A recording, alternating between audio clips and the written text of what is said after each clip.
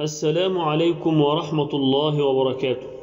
بسم الله والحمد لله والصلاة والسلام على رسول الله. الصفحة رقم 94 سورة النساء. يقول الله تبارك وتعالى أعوذ بالله من الشيطان الرجيم.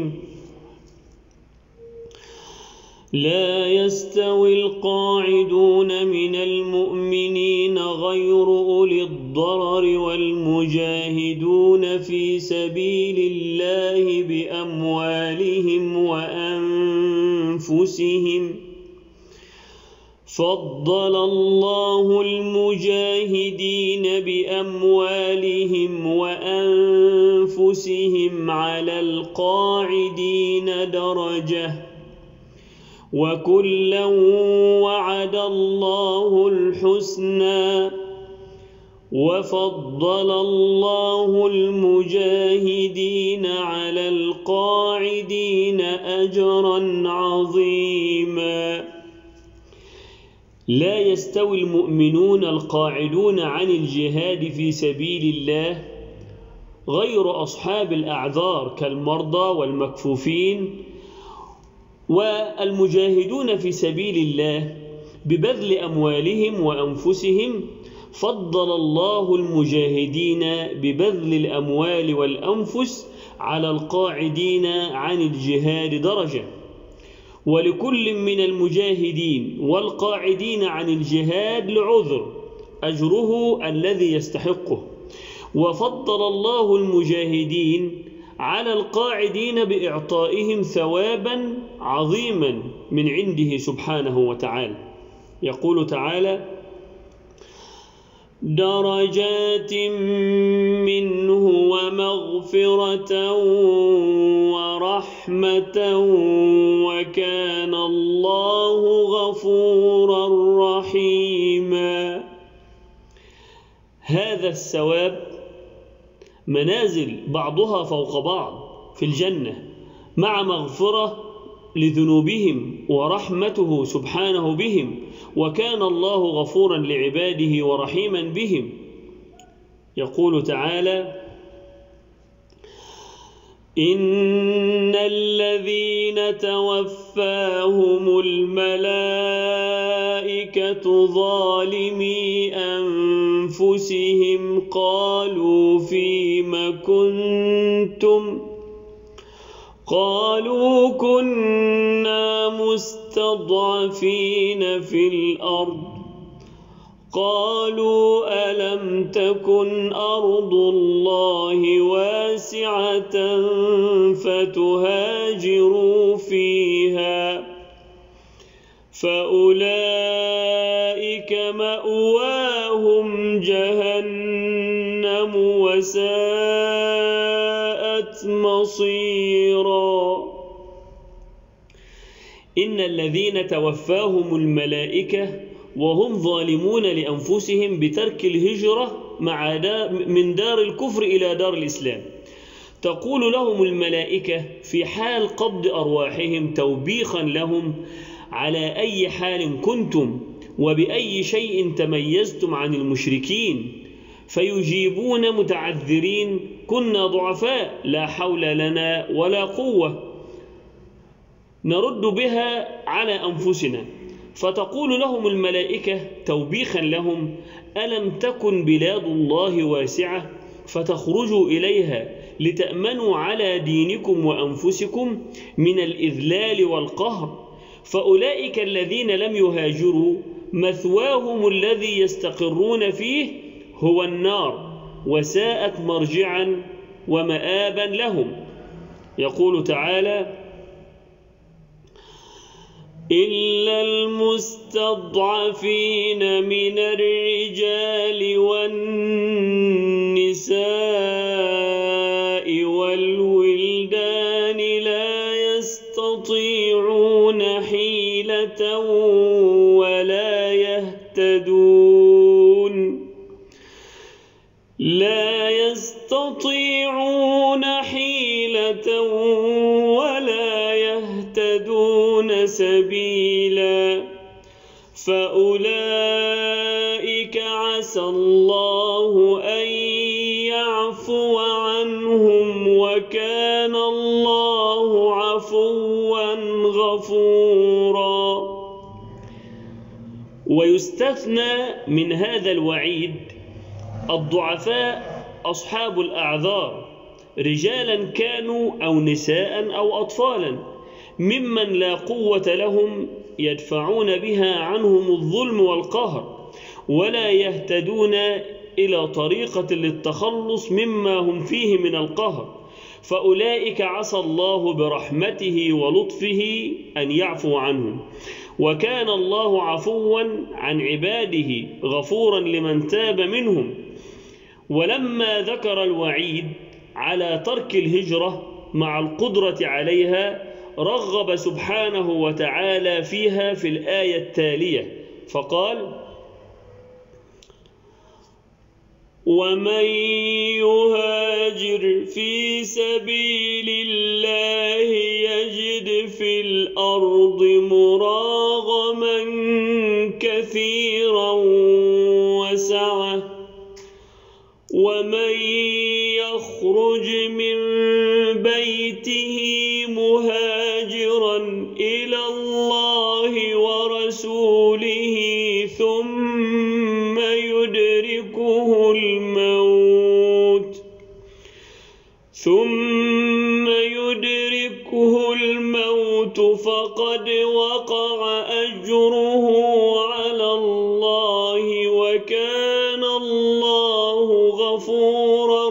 رحيما. ومن يهاجر من بلد الكفر إلى بلاد الإسلام ابتغاء مرضات الله يجد في الأرض التي هاجر فيها متحولا وأرضا غير أرضه التي تركها ينال فيها العزة والرزق الواسع. ومن يخرج من بيته مهاجرا إلى الله ورسوله ثم ينزل به الموت قبل وصوله إلى مهاجره فقد ثبت أجره على الله ولا يضره أنه لم يصل إلى مهاجره. وكان الله غفورا لمن تاب من عباده رحيما بهم.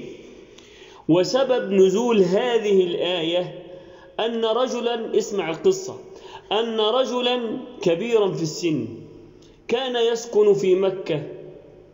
وهذا الرجل معذور لأنه كبير في السن لا يستطيع الهجرة ولكنه لم يتحمل وجوده في مكة في وسط الكافرين وبرودة الكفر في مكة. وكان يتخيل الصحابة كل يوم وهم مع رسول الله صلى الله عليه وسلم ينظرون إليه ويصلون خلفه. فاشتاق إلى الهجرة وإلى النبي صلى الله عليه وسلم وأراد الهجرة إلى النبي في المدينة المنورة. ونعلم أن المسافة بين المدينة ومكة قرابة 450 كيلو متر مسافة كبيرة جدا مش صغيرة. ولما قطع مرحلة من الطريق إلى المدينة شعر بدنو أجله وحس بالتعب وحس ان هو هيموت خلاص وإنه هيفارق الحياة. فماذا فعل؟ عمل إيه الراجل ده؟ ضرب كفا بكف. ضرب إيده على بعضها مش ضرب إيده كفا بكف يعني هو ندمان لا. ضرب كفا بكف الأولى وقال اللهم هذه بيعتي لك. وضرب الكف الثاني وقال اللهم هذه بيعتي لنبيك. فنزلت هذه الآية. ومن يهاجر في سبيل الله يجد في الأرض مراغما كثيرا وسعة. ومن يخرج من بيته مهاجرا إلى الله ورسوله ثم يدركه الموت فقد وقع أجره على الله وكان الله غفورا رحيما. فلم يحدد له أجرا ولكن قال أجره علي أنا وإبهام الأجر دليل على عظم الجزاء.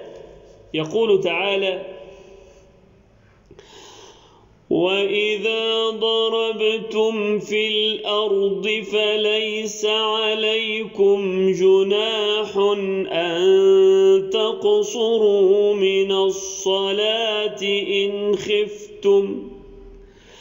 إن خفتم أن يفتنكم الذين كفروا إن الكافرين كانوا لكم عدوا مبينا.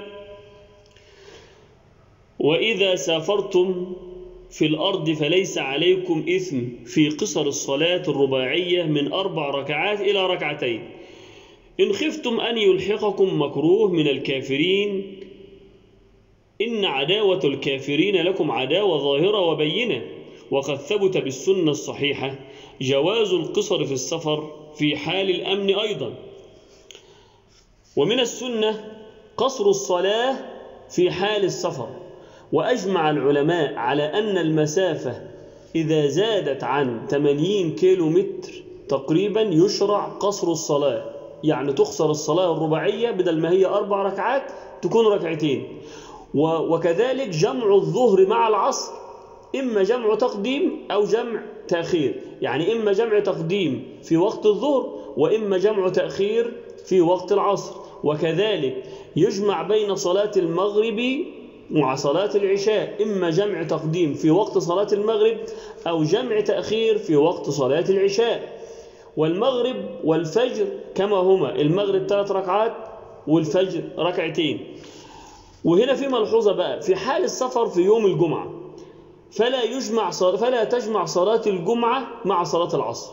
يعني إذا صلى المسافر الجمعة مع أهل البلد اللي هو مسافر فيها فلا يجوز له أن يجمع معها العصر. ولكن ينتظر إلى العصر في وقت العصر ويصليه ركعتين في موعده. ولكن إذا صلى يوم الجمعة. إذا ما حضرش الجمعة مع الناس وصلاها ظهرا ظهر. فيجوز له أن يجمع في هذه الحالة الظهر مع العصر ركعتين ركعتين. من فوائد الآيات واحد فضل الجهاد في سبيل الله وعظم أجر المجاهدين وأن الله وعدهم منازل عالية في الجنة لا يبلغها غيرهم اثنين أصحاب الأعذار يسقط عنهم فرض الجهاد مع ما لهم من أجر إن حسنت نيتهم. ثلاثة فضل الهجرة إلى بلاد الإسلام ووجوبها على القادر إن كان يخشى على دينه في بلده. أربعة مشروعية قصر الصلاة في حال السفر. معاني بعض الكلمات التي وردت في الآيات. الآية رقم 95 كلمة أولي الضرر يعني أرباب العذر المانع من الجهاد. الآية رقم 100 كلمة مراغما يعني مهاجرا ومتحولا ينتقل إليه. الآية رقم 101 كلمة يفتنكم يعني ينالكم بمكروه. تقبل الله منا ومنكم صالح الأعمال والسلام عليكم ورحمة الله وبركاته.